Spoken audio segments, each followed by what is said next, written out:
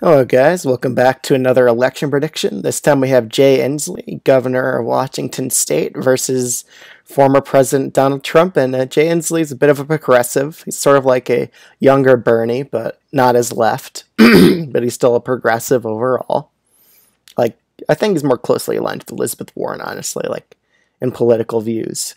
So, uh, I think he'd be a pretty decent candidate. He's still young, like he's not old as like most progressives are, so he's not ancient.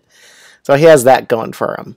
So let's get into this prediction. So Iowa and Ohio, because as a progressive, I think you would have some decent populist appeals in both of these states, but you'll still lose them by about eight to nine points. I would say he'll bring it down under ten percent at least.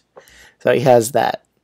Um, state of Texas, I mean, a progressive can't get it down to lean unless they like live in the state or they're from the state.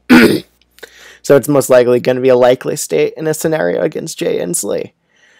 Florida, I mean, he's a bit younger than Biden, so he has that going for him, but still, it's Trump's home state, and I think Trump's going to do extremely well in the state of Florida.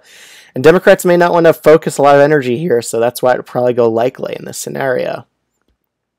North Carolina, however, it'll be a three to four point victory for Donald Trump. Won't be likely, just because if you're running someone as a clean slate Democrat against Trump and he's not that unpopular, he's not going to do super well in a lot of these swing states. He'll still carry North Carolina, but that's fairly conservative. It leans conservative as a state.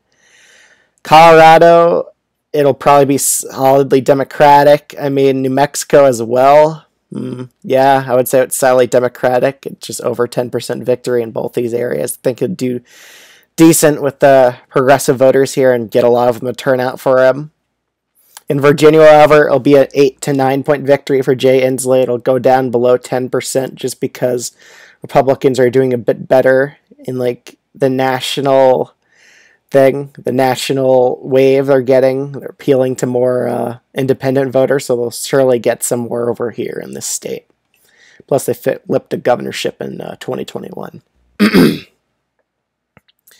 so the state of Nevada, it Bernie did extremely well with progressive voters and Latino voters in the state in the caucus. Plus, Jay Inslee is from the West. He's from Washington, so he had a bit of a home region advantage, I would argue. So let's go to the next few states. Uh, actually, let's top, tap off Arizona. Arizona will probably be tilt Republican in this scenario. Even though Jay Inslee's from the West, it still won't be enough to flip this area. New Hampshire, he'll probably carry it by a lean margin. Maine, about a likely. Maine second, probably also go by a likely margin. So we got five more states left here. The Rust Belt states in Georgia. Georgia, yeah, progressive voters don't really do the best in this state. I don't think Jay Inslee will do extremely well here with African American voters, which will mean they'll probably lose that area by about 1.5% or 2%.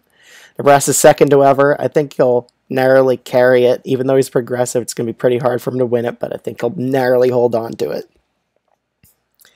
So we got a few more areas left here.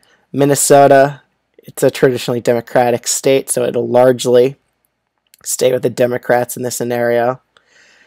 However, Wisconsin and Pennsylvania will doom Jay Inslee in the election. However, he'll narrowly hold Michigan in this election prediction. So let me know what you think of this in the comments below. Like, comment, and subscribe. And I'll see you guys in the next video. Bye, guys.